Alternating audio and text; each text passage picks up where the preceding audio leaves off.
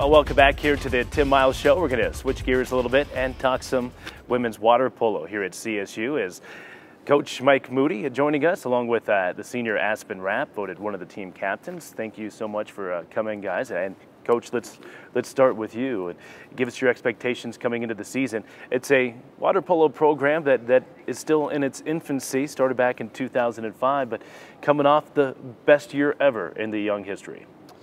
Yeah, we had a great season last year. We finished fourth in our conference in the uh, Western Water Polo Association, and uh, every year our goal is to keep getting better. Um, and this next season, in uh, end of April, beginning of May, uh, we our expectation is to be in that championship game of conference. Sure.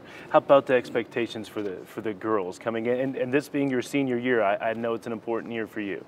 I think coming off of the best year last year at conference, definitely raises the stakes a little. I think we want to do even better by losing one in the third place game last year. I think we kind of want to get into that championship game and play for first to get a bid to the NCAA tournament. So.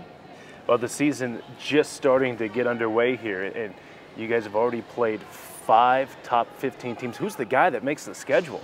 that, that, would be me. Um, That's a tough way to start. it, it is. The uh, Michigan tournament, the Michigan kickoff tournament, which we just got back from, uh, we've been going to ever since this program started, and uh, John and I um, back then decided, you know, if we're going to be the best, we need to go to the, some of the best tournaments in the country, and um, it's a tough tournament, and it really shows us girls, girls and I, where where we stand, and we had a great, great tournament this last weekend, and we played tough against Indiana and Hartwick, which were 13th and 14th in the nation, yeah. and. Um, we have things we need to work on, but we're definitely getting better, and it was really exciting. Yeah, Aspen, I know you didn't get the wins over those teams, but can you guys build off some of those games as you head into the rest of the year? Yeah, I definitely think so, especially since from my freshman year, I guess like the I wouldn't say losses, but like the scores have gotten a lot closer than they have since I've been here my freshman year. So I would definitely say that we've gotten better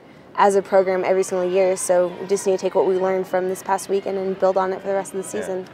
Now Aspen's from uh, League City, uh, Texas, suburb of Houston. Senior this year, team leader. How did you go from the Houston area to, to Fort Collins? How did you find your way up here? Um, I don't know. I started just playing club and playing in high school, and I kind of thought that I had a shot to play at the Division One, maybe Division Two level and came across Fort Collins and CSU and always came up here for spring break going skiing and stuff like that and kind of fit with the whole big big division one basketball football kind of atmosphere and that was what i liked so. It seems like anybody that comes from out of state comes from texas they always seem to fall in love with fort collins. It's, it's an easy thing to do. How about uh, aspen this year mike? I know you guys are counting on a lot from her.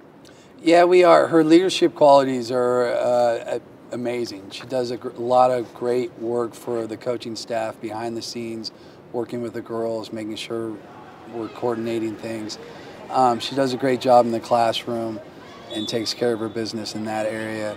Um, as far as the water polo aspect, she's become a student of the game from her freshman year through her senior year, and it's been a, a lot of fun watching her grow as an athlete in that role.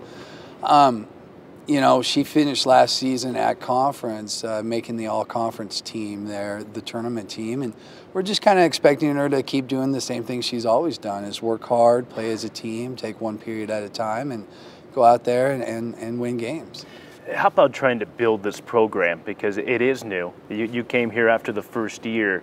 Uh, when you go out and, and, you recruit for the sport of water polo, I imagine there's there's some challenges because it's a young program. There there are challenges, but I mean, what program, what sport doesn't have those challenges in recruiting these days? It's a it's a tough business, and that's what it is. And um, I enjoy those challenges, and, and I feel that we're doing a pretty good job recruiting the right people, um, the right athletes for our program, and um, the geographic part of it is kind of tough, but like I said, it's it's kind of fun to have those challenges. Yeah. Well, listen. Best of luck the rest of the year to you too, and thanks so much for joining us on the program. Thank, Thank you. you. Okay, Aspen Rapid, Coach Mike Moody. Plenty more to come here on the Tim Miles Show. We'll be rejoined by Tim, and we'll look ahead to the week Colorado State basketball. Stay with us.